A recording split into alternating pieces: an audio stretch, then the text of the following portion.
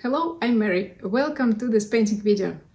In this video, I would like to share with you a few practical moments and a few magic moments of creating your artwork.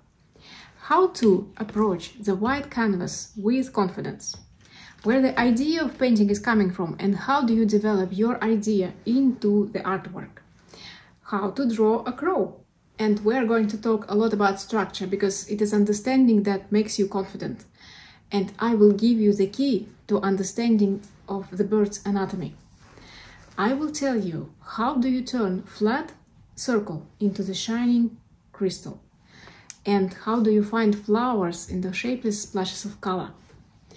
And you will witness yourself how do you develop dialogue with your painting when it begins to tell you back, it begins to tell you what to do next. And finally, we are going to put a few highlights that will make your painting sparkle. I hope you find it inspiring and uh, I'll see you at the class. Good luck!